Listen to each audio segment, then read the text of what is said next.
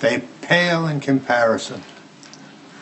What pales? These flowers to your lovely eyes. Impossible to match because of the way the color subtly changes with your mood. A man could make those eyes his life's work. What are these for? Token of my goodwill as an admirer of nature's beauty and as a businessman. I came in person to speak to someone about a business opportunity. I can't accept the flowers and I'm gonna have to ask you to leave. Oh. What is he saying to you? I'm fine. There he is. Scion of the Corinthos family, a young man who wished to work the docks for his father's coffee company, a man who's not afraid to get his hands dirty. There's all kinds of ways to get your hands dirty. You are the perfect person to appreciate my unique dilemma. What do you want? I have ample legitimate funds, just like the ones generated by your father's coffee business, and I'm looking to make a legitimate return. I wish to make an investment in ELQ. Get out.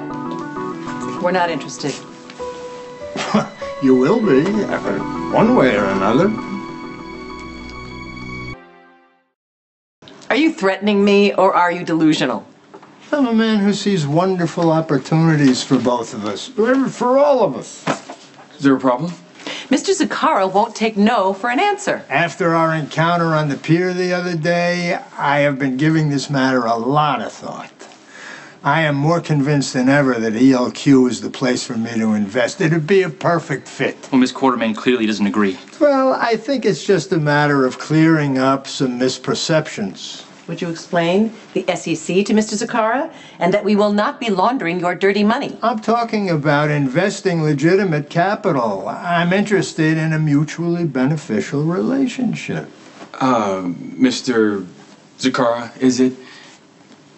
We're not entertaining outside investors at this time. I can make it worth your while. For instance, I know that you're interested in acquiring Dracon securities. With my investment, you can make a preemptive bid.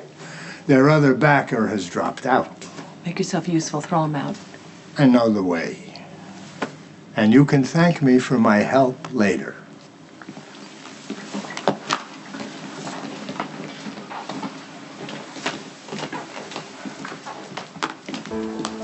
You have been here a matter of days and already gangsters are lining up. You can't blame Michael for this. I fought my father on bringing you into the company. But he thinks of you as family. I, on the other hand, think of you as a mob magnet. But I could not predict how much damage you could do in such short amount of time. Okay, as far as I recall, Michael advised your father to play hardball on the Asgard deal and save the company a lot of money his first day on the job. A fluke. No question about it. Okay, and as far as Anthony Zacchara wanting to make an investment in the company, that is hardly Michael's fault. Which one of you was blabbing about the Dracon deal? Calm down. Nobody's been blabbing about anything. That is the only explanation for Anthony Zacchara knowing about it. He was never supposed to leave this office. I didn't say a single thing about it out of this office. Neither okay? did I. Well, you have not been paying enough attention to know that it was really important, so it had to be you.